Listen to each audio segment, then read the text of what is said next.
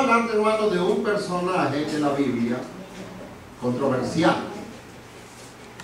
¿Sabe usted que eh, los hombres de Dios son controversiales?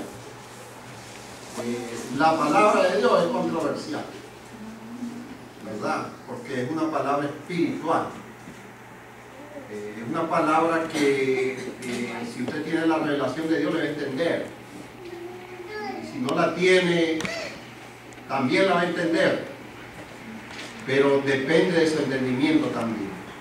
Pero la palabra de Dios es espiritual y se tiene que entender espiritualmente. Amén. Aunque aplica a nuestra vida física. Bendito sea el nombre del Señor. Y vamos a hablar de este hombre, Saúl. Es un personaje. Está en la Biblia y por alguna razón Dios quiso que estuviera en la Biblia. ¿Verdad? Y un personaje que comenzó bien y terminó bien mal. ¿Verdad? Eh, un ejemplo para nosotros. Como creyentes podemos comenzar bien y terminar bien mal. Pero el camino del Señor estamos llamados, hermanos, a comenzar bien y a terminar bien. Amén. Nuestra carrera. Pónganse de pie, hermano, vamos a leer. Bendito el Señor. Capítulo 9, verso 1. Bendito sea el nombre de Jesús. Dice la palabra del Señor, si honramos al Padre, honramos al Hijo y honramos a su Santo Espíritu. ¿Me oyen bien, verdad? No, está bien el volumen, ¿verdad? Dice la palabra del Señor que había un varón de Benjamín, hombre valeroso, el cual se llamaba Cis, hijo de Abiel, hijo de Serón, hijo de Becorá, hijo de Afa, o Afía, hijo de un benjamita. Y tenía él un hijo que se llamaba Saúl, joven y hermoso. Entre los hijos de Israel no había otro más hermoso que él. De hombros arriba sobrepasaba a cualquiera de los Amén. Padre, gracias por esta palabra, Señor. Yo pongo en tus manos, Señor, para que la palabra sea revelada a nuestro corazón. Señor, que podamos aprender la lección que tú nos quieres dar en este día a través de tu palabra. De tu palabra es la verdad, Señor. Te bendecimos, te adoramos, Señor, y te exaltamos. Y te damos honor y gloria y alabanza a ti, Señor, porque tú eres bueno y porque para siempre es tu misericordia. Padre, en el nombre santo de nuestro Señor Jesucristo. Amén. Bendito el Señor. Vino el programa.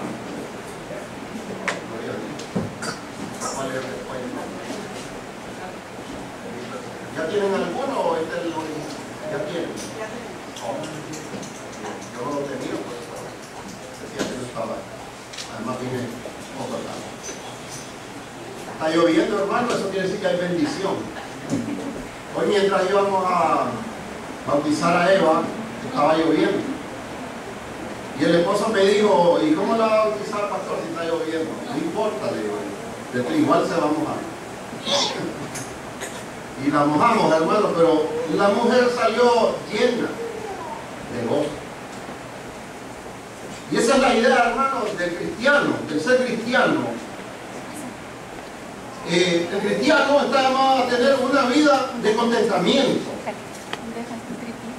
Eh, el cristiano ha encontrado el por qué razón está aquí en esta tierra. El cristiano eh, está llamado a llenar su vida de Dios y a estar alegre. En medio de la batalla, de la prueba, el cristiano siempre debe saber y estar convencido que él nació para ser un vencedor. Nació para ser un hombre o una mujer que llene las expectativas de Dios. Porque es Dios quien se encarga de llenar nuestros anhelos.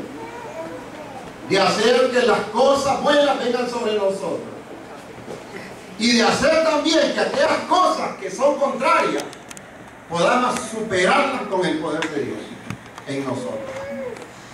En otras palabras, el cristiano está llamado a ser un vencedor. Nosotros nacimos para vencer. Dios nos trajo a esta tierra para ser vencedores, para ser hombres y mujeres de valor que cumplan los propósitos que Dios, Dios tiene en nuestra vida. Es cierto que en la vida nosotros tenemos situaciones, sufrimientos, tenemos batallas y pruebas, pero en medio de todo, hermano, Dios dijo que iba a estar con nosotros todos los días hasta el fin. Y esa palabra, hermano, se cumple en cada uno de nosotros. Vamos a hablar de Saúl, un hombre con un llamamiento supremo, pero que sin embargo, en medio de ese llamamiento hizo algunas cosas que hicieron que el propósito de su llamamiento se perdiera. Amén. Porque lo de Dios, hermano, es un asunto serio. Lo de Dios no, juega uno con eso. El camino de Dios es un camino de santidad y un camino de poder, un camino de victoria. Y un camino, hermano, que hay que caminarlo por la fe en Cristo el Señor. Como leímos ahí, dice que había un varón, Benjamín. ¿Verdad? Eh, Dios es específico en los llamados. Por eso las descripciones que nos da la Biblia son exactas, detalladas. Dios cuando te llama, sabe por qué te llama. Y Dios cuando te llama, sabe cuál es tu nombre. Y Dios cuando te llama, sabe cuál es tu llamamiento y con qué propósito te trae al llamamiento. En este caso, el llamamiento de Saúl es un llamamiento específico. Fue llamado a ser un rey a ocupar una posición importante entre aquel pueblo de Dios. Y Dios pues adornó a aquel hombre y le dio atributos físicos que lo hacían diferente a los demás. Pero también vamos a entender, hermanos, que el físico no es tan importante como el corazón. Amén. Dice que este varón era hermoso. Lo que las chicas dirían, que es guapo que es ese hombre. ¿Verdad? Qué simpático. Porque la Biblia lo describe como un hombre alto, hermoso, que sobrepasaba a los demás en estatura. Seguramente era un hombre atlético, con una complexión, ¿verdad? De un hombre grande y fuerte y saludable. ahora la Biblia describe que este hombre era hijo de un hombre valiente. Déjeme decirle algo.